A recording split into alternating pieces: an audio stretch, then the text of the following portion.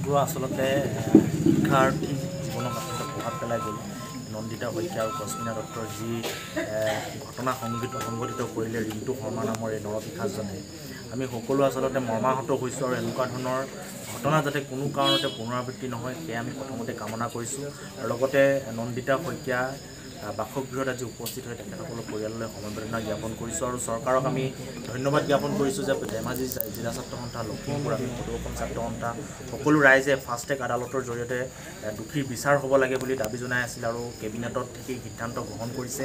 আমি সঁচাকৈ সেই কথাটো খবৰ পাই আমি আনন্দিত হৈছোঁ আৰু আশা ৰাখিছোঁ এই ফাষ্ট ট্ৰেক আদালতত যি বিচাৰ হ'ব সেই প্ৰক্ৰিয়া খুব সোনকালে হ'ব লাগে আৰু দোষীক এনেকুৱা ধৰণৰ কঠোৰতম শাস্তি প্ৰদান কৰিব লাগে যাতে ভৱিষ্যতৰ কাৰণে ই সকলোৰে কাৰণে এটা চানেকি হৈ ৰয় আৰু এনেকুৱা ধৰণৰ ঘটনা পুনৰাবৃত্ত কৰিবৰ কাৰণে কোনেও যাতে সাহস নকৰে আৰু এই মানসিকতাৰ ব্যক্তিসকলৰ ব্যক্তিসকলৰ কাৰণে ই এটা উদাহৰণ হ'ব লাগে। এনেকুৱা ধৰণৰ শাস্তি চৰকাৰে প্ৰদান কৰিব লাগে। আৰু ইয়াৰ লগে লগে আমি আৰু এটা আহ্বান জনাইছোঁ যাতে পুলিচে আৰক্ষীয়ে কোনো ধৰণৰ গাফিলতি নকৰে যাতে চাৰ্জশ্বিট বনোৱাৰ সময়ত এনেকুৱা গাফিলতি নকৰে যি গাফিলতিৰ জৰিয়তে দোষীয়ে সুৰুঙা বিচাৰি যাতে ওলাই যাব পাৰে তেনেকুৱা ধৰণৰ গাফিলতি নকৰিবৰ কাৰণে আমি আহ্বান জনাইছোঁ।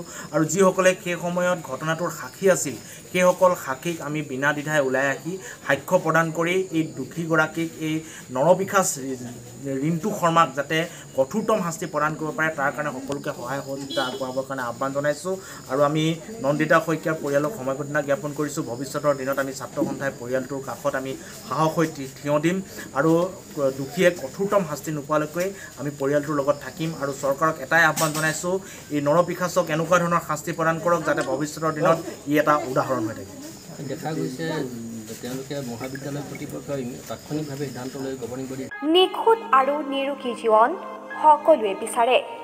আমাৰ শৰীৰৰ অংগসমূহৰ ভিতৰত লিভাৰো অতি গুৰুত্বপূৰ্ণ।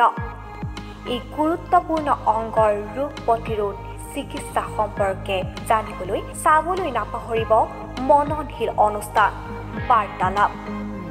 ঊনত্ৰিছ আগষ্ট দেওবাৰে নিশা আঠ বজাত লিভাৰ ৰোগ প্ৰতিৰোধ চিকিৎসা আৰু সুৰক্ষা বিষয়ৰ সন্দৰ্ভত আলোচনা কৰিবলৈ বাৰ্তালাপত উপস্থিত থাকিব লখিমপুৰ চিকিৎসা মহাবিদ্যালয়ৰ অধ্যক্ষ ডাক্তৰ অনুপ কুমাৰ দাস।